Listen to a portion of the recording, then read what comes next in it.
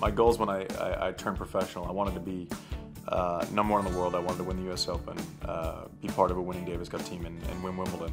Was uh, two points away, I think, five or six times from from kind of sweeping the board there. Um, but uh, obviously Wimbledon didn't happen. But I think those were such far-fetched, kind of pie in the sky uh, goals. Um, you know, if you told me at any point in my life that I would have been able to uh, be a part of accomplishing one of those goals, I would have been ecstatic. Uh, you know, so while a lot of the rhetoric around my career is about Wimbledon and the one out of the four that, that I didn't get. Uh, I think perspective is needed from myself, kind of looking inward. Three out of four of those is pretty great.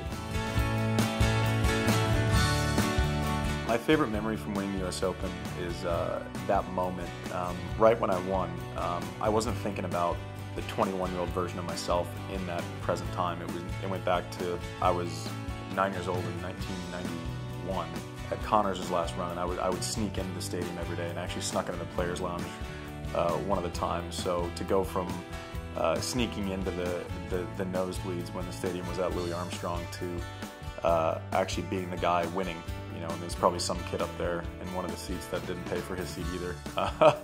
uh, it, it, kind of came full circle, and, and so when I got um, emotional, it wasn't just about you know the selfishness of I'm a Grand Slam champion. It was kind of uh, kind of the emotion of, of, of kind of having that come full circle.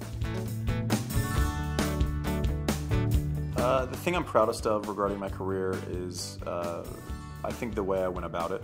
Um, I don't know that I'll look back at any matches and say, had I just given a little bit more effort, I would have won that match. You know, I, I get asked about regret a lot, and I obviously wish uh, the outcome of a handful of matches would be different, and it would probably define my career a little bit differently.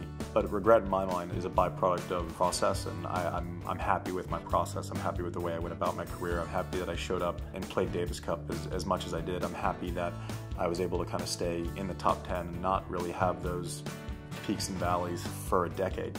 You know, so I'm, I'm, I'm, I'm proud of those things.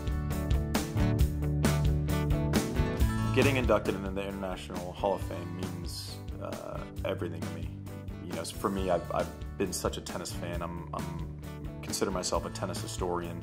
I, I get so nerdy about uh, players from older generations and um, to kind of know that my career will rest uh, not equally but alongside those careers forever in Newport. I mean, it, it, gives me chills every time I talk about it. So to me, I, I, I appreciate it. I'm, I'm, humbled by it, and uh, I, I, I can't wait for, for it to happen.